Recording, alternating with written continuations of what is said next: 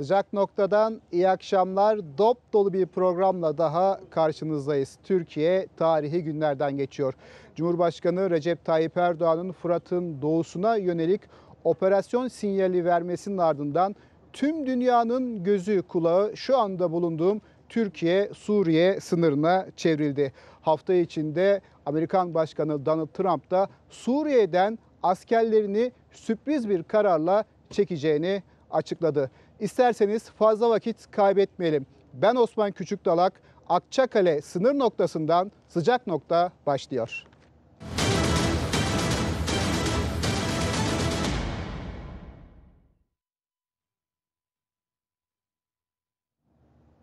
Türkiye'nin Fırat'ın doğusuna yönelik operasyona başlayacağını açıklaması deyim yerindeyse taşları yerinden oynattı. Amerika Birleşik Devletleri Başkanı Donald Trump Suriye'den askerlerini çekeceğini açıkladı. Cumhurbaşkanı Recep Tayyip Erdoğan da bu kararın bir müddet Türkiye'yi beklemeye yönelttiğini açıkladı. Ancak bu bekleyişin ucunun açık olmayacağını da sözlerine ekledi. En önemli soru şu. Amerikan yönetimi bu noktaya nasıl geldi? Dosyamız başlıyor.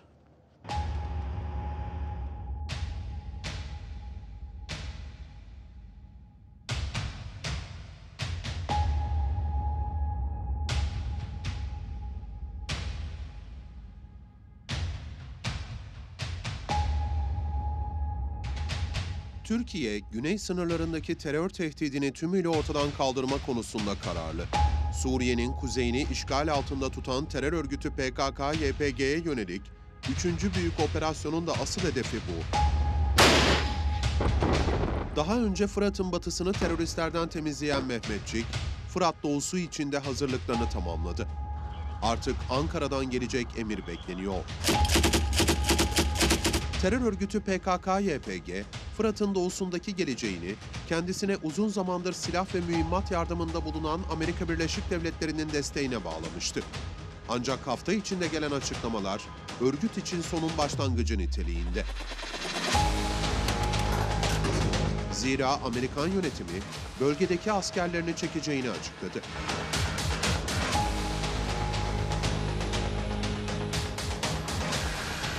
Hemen arkamda bulunan Tel Abyad'da kısa süre önceye kadar Amerikan askerleri devreye geziyordu. Türkiye'nin Fırat'ın doğusuna yönelik operasyon için düğmeye basmasıyla önce bölgedeki askeri hareketlilik azaldı. Hemen ardındansa Trump Suriye'deki Amerikan askerlerini geri çekme kararı aldı.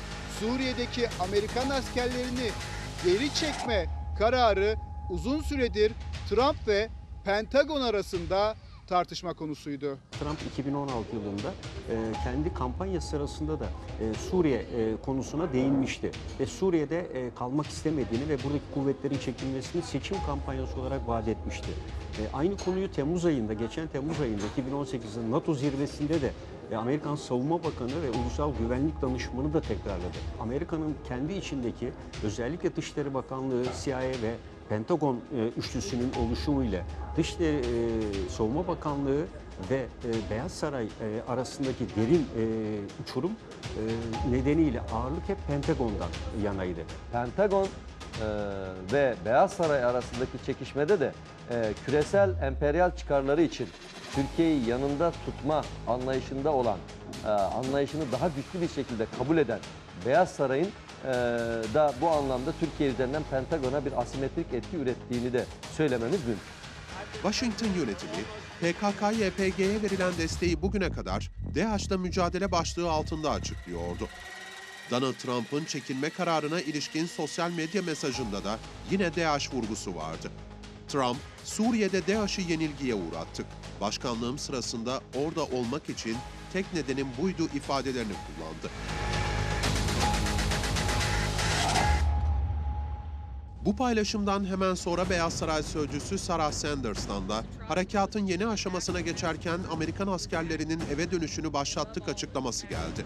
Amerikalı yetkililer geri dönüş takvimine dair somut bir açıklama yapmaktan kaçındı. Tüm bu gelişmeler Cumhurbaşkanı Erdoğan'la Amerikan Başkanı Trump arasındaki telefon görüşmesinden sonra yaşandı. Fırat'ın doğusuna askeri operasyona başlayacağımızı resmen ilan ettik. Yaptık mı? Yaptık. Şimdi yine takip ediyoruz. Ve burada Sayın Trump'la da bunları görüştük. Ve kendileri de olumlu cevapları verdiler. Şimdi bunların da takipçisiyiz. Bu askerimi çekiyorum noktasına Amerika Birleşik Devletleri Başkanı kim getirdi? Türkiye'nin hem askeri alandaki hazırlıkları ve e, Sayın Cumhurbaşkanımızın işte birkaç güne kadar harekatın olacağını uluslararası ulusal kamuoyuna paylaşması ve onun gerisindeki işte bu e, diplomasi masasındaki işte şimdiye kadar sürdürdüğü Astana gibi çoklu siyaset ya da İstanbul mutabakatı gibi ve işte bu Cenevre'deki anayasa çalışmalarını e, Astana Üçlüsü'nün tamamlamış olması bütün bunlar e, hatta Kaşıkçı meselesindeki e, Türkiye'nin e, e, davranış biçimi, kararlı duruşu bütün bunları üst üste koyduğunuzda e, bir başarı hanesi var. Bu çekilmenin temel dinamiği Türkiye. Ee, tabii şimdi e, bu çok yönlü stratejik kapasite nedir diye sorgulayacak olursak, e, bakınız e, burada pek ABD'nin am- amacı olan e, bölgede PKK-PYD üzerinden bir e, vekalet aparatı, terörist sürülerinden vekalet aparatı üretip bölgeyi dizayn etme politikasında artık PKK-PYD bir e, araç olma, araçsallaşma vasfını Türkiye'nin alanda uyguladığı baskı ve çevreleme nedeniyle e, bu araçsallaşma vasfı ortadan kalktı. Kartlar hep yeniden karılıyor. Hep diyoruz ya e, ya masada ya menüde olacaksınız. Ulus- Uluslararası ilişkiler sözü. Türkiye artık hep masada. E, Türkiye'yi e, artık herkes masada görüyor. Nerede bir şey varsa Cenevre'de Türkiye, Astana'da Türkiye, Soçi'de Türkiye e, ve İstanbul zirvesi, o dörtlü zirvede Türkiye var. Ama bunların e, hemen hemen hiçbirinde Amerika Birleşik Devletleri yok.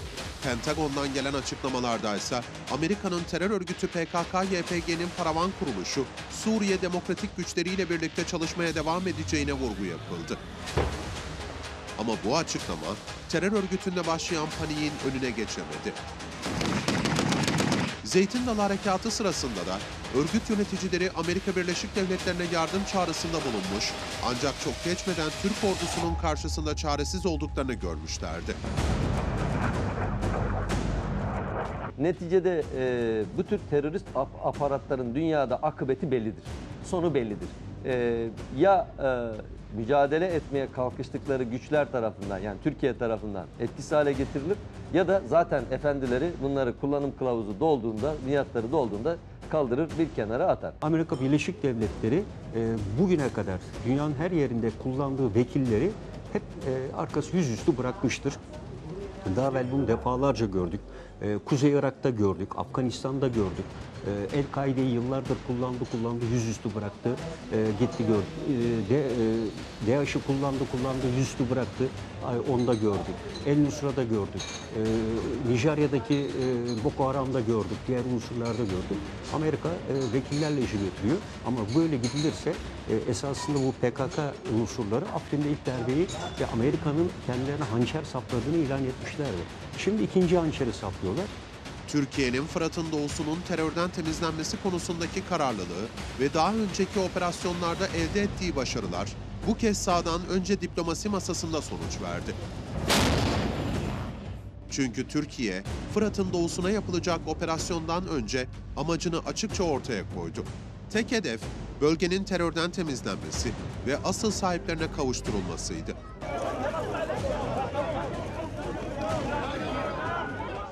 Amerikan askerleriyle karşı karşıya gelinmeyeceği de bizzat birinci ağızdan ifade edildi. Fırat'ın doğusuyla ilgili bir takım sözleri verenler. Bu sözleri yerine getirmesi lazım. Şimdi bunu bekliyoruz. Yaklaşık 500 kilometrelik sınır hattı boyunca özellikle de Amerikan askerlerine asla zarar vermeyecek şekilde kendi planlamamıza uygun yerlerden Suriye topraklarındaki operasyonlarımıza her an başlayabiliriz. 2000 tane askerden bahsediyoruz. Belki işte danışmanlarla falan bu sayı artabilir ama Amerika'nın bölgedeki askeri varlığı zaten orada bulunmasını fiziki olarak gerektirmiyor. E, bunu biz Obama döneminde de gördük. Yani geriden müdahale gücü, askeri kapasitesi var. Şu an itibariyle Türkiye en azından Fırat'ın doğusuna yönelik olarak e, bir operasyonda Amerika ile karşı karşıya gelme ihtimalini bertaraf etmiş oldu. Bu önemli bir kazanım. Amerika Birleşik Devletleri'nin bölgede 2000'e yakın askeri ve üs olarak da kullandığı 15 operasyon noktası bulunuyor.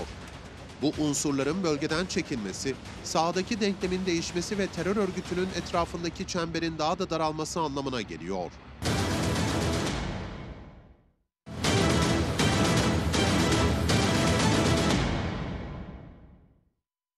Gerek Sayın Trump'la yaptığımız telefon görüşmesi, gerek diplomasi ve güvenlik birimlerimizin temasları, gerekse Amerikan tarafından yapılan açıklamalar bizi bir müddet daha beklemeye yöneltti. Hem PKK, PYD unsurlarını hem de DAEŞ kalıntılarını ortadan kaldıracak bir harekat tarzı izleyeceğiz. Bunun bilinmesi lazım.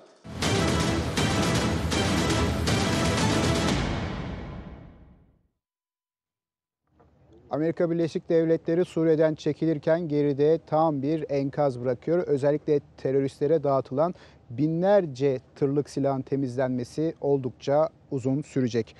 Amerika Birleşik Devletleri'nin çekiliyor olması örgütteki paniği daha da arttırmış durumda. Örgüt şimdi gözünü Şam'a çevirdi. Şimdi sizlere çok özel iki röportaj izleteceğim. O röportajlarda Esed rejimi PKK ve PYD ortaklığına tanık olacaksınız.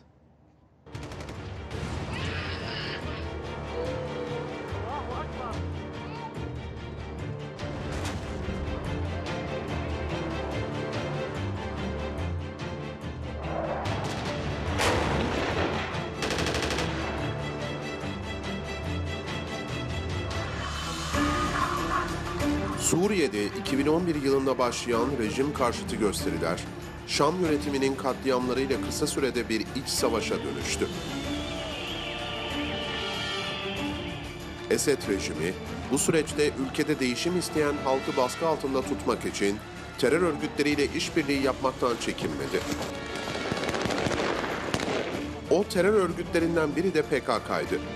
Zira Şam yönetimiyle PKK arasında geçmişi terör örgütü elebaşı Abdullah Öcalan'ın Suriye'de saklandığı günlere dayanan derin bağlar bulunuyordu.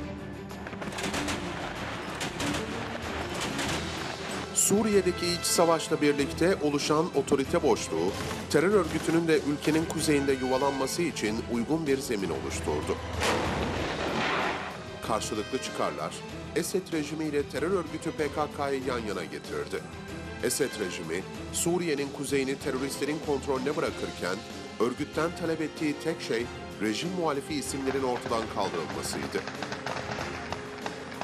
Terör örgütü PKK bu süreçte hem kendisine hem de rejime karşı çıkan Kürt siyasetçileri hedef almaya başladı. O isimlerden biri de Michel Temo'ydu.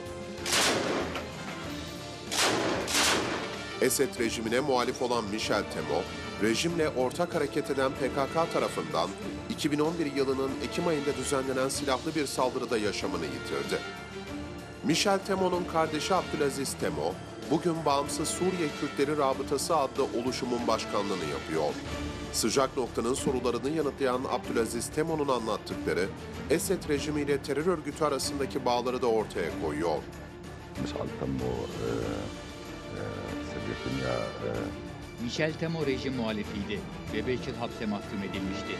2011 yılında rejime karşı protestolar başlayınca genel bir af çıkartıldı. Mayıs 2011'de cezaevinden çıkınca halka rejimin değişmesi gerektiğini, değişimin kaçınılmaz olduğunu söyledi. Demokratik ve insan haklarına saygı duyan, herkese eşit gören bir sistemin olması gerektiğini anlatmaya başladı. Bu çağrıları Kamışlı'dan Dera'ya, Hama'dan Humus'a birçok yerde karşılık bulunca rejim bundan çok rahatsız oldu. O zaman Suriye'de YPG yoktu. Rejim PKK'ya Mişel'i katletme ihalesini verdi. Ve kardeşim bir ay sonra Kamışlı'da katledildi.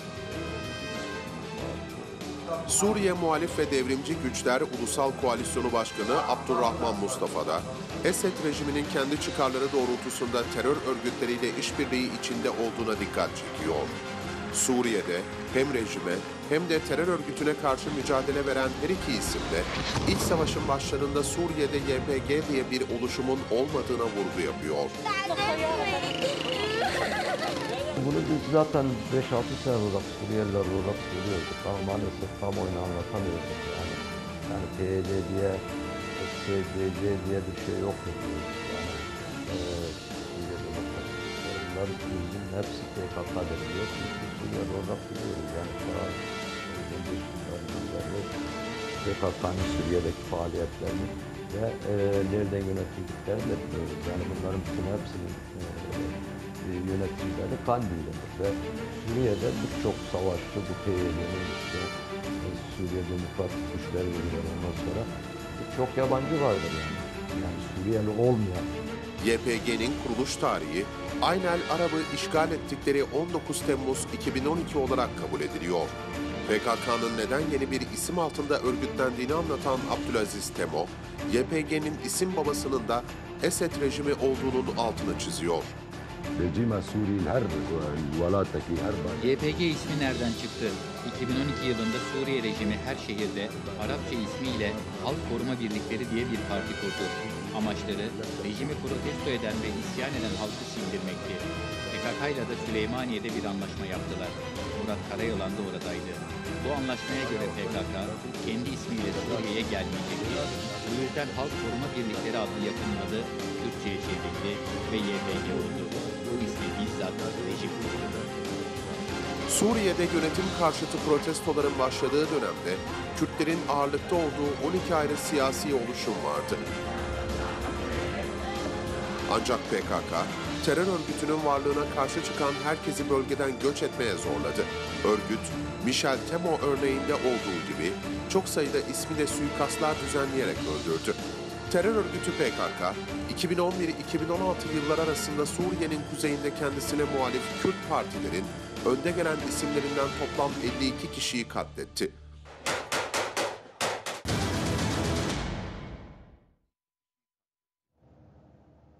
Bugün Suriye Azez'de 150 aşirette bir araya gelerek terör örgütleriyle ortak hareket etme kararı aldı. Son derece önemli bir e, gelişme, denklemi değiştirecek bir gelişme. PKK ile YPG'nin aynı terör örgütü olduğunu artık bütün dünya biliyor. Peki Kandil ile Fırat'ın doğusu arasındaki terör bağını kimler belirliyor? Kandil'in Suriye stratejisinde öne çıkan örgütün sözde yöneticileri kimler? Dosyamız geliyor ekranlara.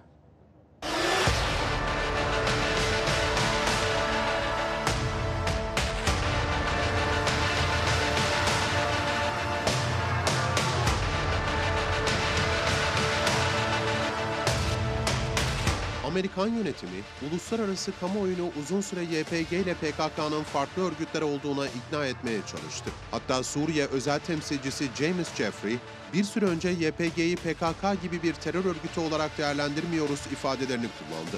Oysa YPG'nin terör örgütü PKK'nın Suriye kolu olduğu apaçık ortadaydı. Hatta bu iki örgüt arasındaki bağlar, Birleşik Devletler'deki kurumların raporlarına ve bazı Amerikalı yetkililerin açıklamalarına da yansımıştı. YPG, ABD Ulusal Terörle Mücadele Merkezi'nin internet sitesinde bulunan terör grupları başlığı altında PKK'nın Suriye'deki kolu olarak tanımlandı. ABD Ulusal İstihbarat Direktörü Daniel Coats'un kongreye sunduğu ABD İstihbarat Topluluğu'nun resmi raporunda da YPG, PKK'nın Suriye'deki milis gücü olarak nitelendirildi.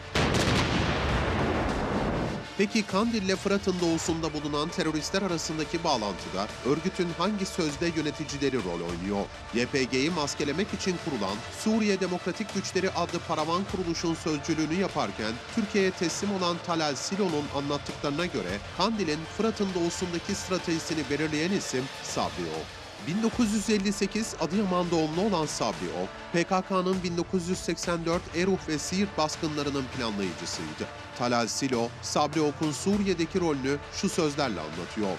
YPG ve PYD bütün talimatları Kandil'de Sabri Ok'tan alır. Örgütün yapısı bu şekilde işler. Amerika Birleşik Devletleri'nin Kandil'deki sözde yöneticilerinin başına ödül koymasına rağmen Sabri Ok'un adını bu listeye dahil etmemesi de Ok'un Suriye sahasında etkin olmasına bağlanmıştı. Sabri Ok'un Fırat'ın doğusuna yapılacak operasyondan önce Kandil'den Kamışlı'ya geçtiği de iddia ediliyor. İstihbarat raporlarına göre Suriye'de Kandil'den gelen mesajların uygulayıcısı olarak öne çıkan isimler var. Bahoz Erdal kod adlı Fehman Hüseyin, Sofi Nurettin kod adlı Nurettin Halef ve Şahin Cilo kod adlı Ferhat Abdi Şahin. Fırat'ın doğusundan sorumlu olan sözde yönetici Sofi Nurettin. Sofi Nurettin, 1990 yılında örgüte katılmıştı. Daha önce Türkiye sınırları içinde terörist faaliyetlere katılmış ve Hakkari Yüksekova Şemdinli kırsalında sözde bölge sorumluluğu yapmıştı. Sofi Nurettin, 2003-2007 yıllar arasında Diyarbakır kırsalında sözde eyalet koordinatörüydü. Bu dönemde Diyarbakır'da gerçekleştirilen eylemlerin organize edilip uygulanmasından birinci derecede sorumlu. Uzun bir süredir de PKK-YPG'nin sözde Suriye Genel Sorumlusu olarak biliniyor. Kandil'den gelen mesajları uygulamakla yükümlü. Silahlı kanadın başındaysa Şahin Cilo kod adıyla bilinen terörist var. Asıl adı Ferhat Abdi Şahin olan Şahin Cilo, 1967 Afrin doğumlu. 1990 yılında PKK'ya katıldı ve örgütün elebaşı Abdullah Öcalan'ın yakınında yer aldı.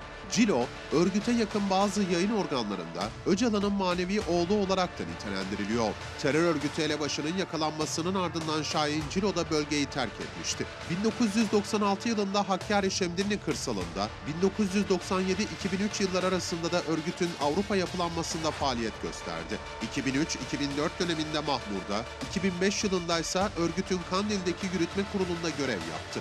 2009-2012 yıllar arasında da terör örgütü PKK'nın sözde Özel Kuvvetler Komutanlığı görevini üstlendi. 2012'de örgütün Suriye'deki koluna dahil olan Şahin Cilo, 1 Ekim 2015'te kurulan Paravan Kuruluş SDG'nin askeri sorumlusu ilan edildi. Şahin Cilo, Amerikalılarla doğrudan iletişim kuran isim olarak da biliniyor. Eski SDG sözcüsü Talal Silo, itiraflarında bu durumu şöyle özetliyor. Suriye Demokratik Güçlerinin kuruluş ilanı sadece bir tiyatroydu. Amerikalılar bölgede liderliği PKK'ya verdi. Silahlar için oluşturulan listeyi de Amerikalılara Şahin Cilo sunuyordu. Türkiye'nin kırmızı kategoride aradığı Şahin Cilo, Amerikalı yetkililer tarafından general olarak nitelendirilmiş, Türkiye bu duruma sert tepki göstermişti. Bu tür açıklamalar PYD'nin, YPG'nin şu elemanına, bu mensubuna yönelik bu tür ifadelendirmeler, bu tür taltifler aslında bir terör örgütünü meşrulaştırma çabasıdır. Türkiye, 2017 yılının Nisan ayında Kandil'den gelen teröristlerin de yuvalandığı Suriye'deki Karaçok Dağı'na hava harekatı düzenlemişti. Bu harekatın ardından Amerikan askerlerinden oluşan bir heyet vurulan bölgeyi ziyaret etmişti. İşte o ziyarette Amerikalı askerlerin yanında yer alan kişi Ferhat Abdi Şahin yani Şahin Cilo'ydu.